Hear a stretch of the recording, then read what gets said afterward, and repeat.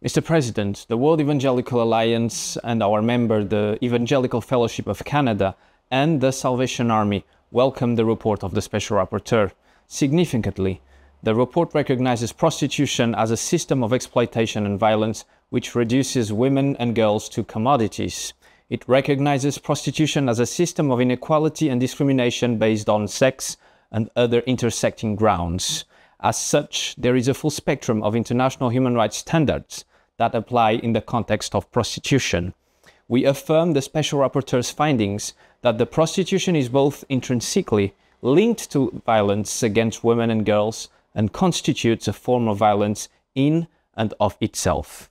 We are particularly concerned about the contexts that create vulnerability to exploitation in prostitution and appreciate the report's fulsome discussion of those factors.